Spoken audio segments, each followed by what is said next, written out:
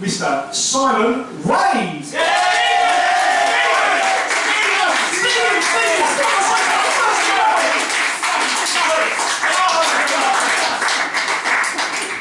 It was so close with that. Actually, my name is Steve. He's Steve, yeah. Um, and uh, I work in IT, which is kind of a prerequisite, because most people work in IT are called Steve. However, I turned up for the interview. Um, I said, my name's Steve, you went, you've got the job. Actually, my, my full name's Stephen. My full name's Stephen. I didn't want to appear too overqualified. Um, I've, I've, got, some new stuff I'm trying to do. Um, I was, uh, I was married for 20 years. 20 years old. I'm divorced now, been divorced for two years. Hey, cheer if you're divorced. Um, I was married for 20 years, had two wonderful children in that time. Two wonderful children, one horrible one, but two wonderful children. Don't, don't believe when your parents say that they haven't got a favourite. They've got a favourite. Alright? So if you don't know who the favourite is, it's obviously not you. because they, they're. um, um, I'm, I'm a granddad as well. I know what you're thinking, he must have started young. I'm from Essex, we start young in Essex. Alright, we're brought up on the stuff. Um, yes, um,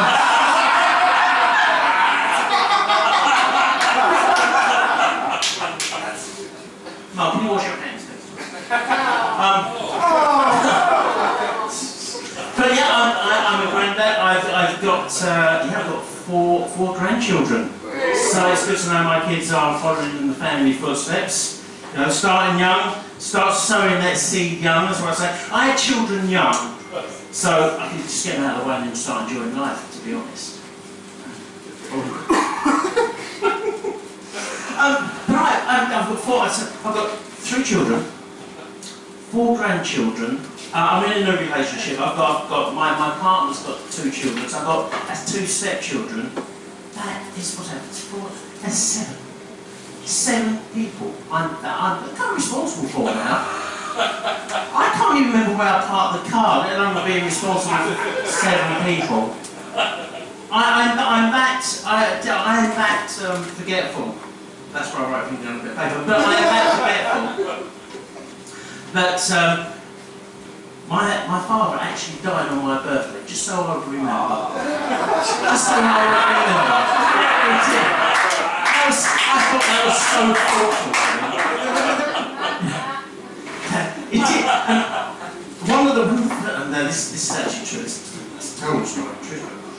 When he died, the first thing I had to do, apart from, you know, checking good breathing, the first thing I had to do, I had to dash back to his house to find the porn collection. Now, you probably don't get this, you, you probably look younger than I am, but, you know, we can't just delete the browser. You know, we can't delete our uh, internet history. Because when you, you know, when I was growing up in the 80s, you know, it was magazines, you know, it was something collectible. It was. Oh, right then. But it was something collectible. So, growing up, growing up in the 80s, you know, you did a massive, a massive collection really, of this stuff. You don't know. You're like- you're laughing, it's true. It's true. Because it, if, if someone dies, someone dies, what happens to their porn collection? It's there for someone to find. Now, I owed it to my father to go up into his loft, because that's where I found it in this last house.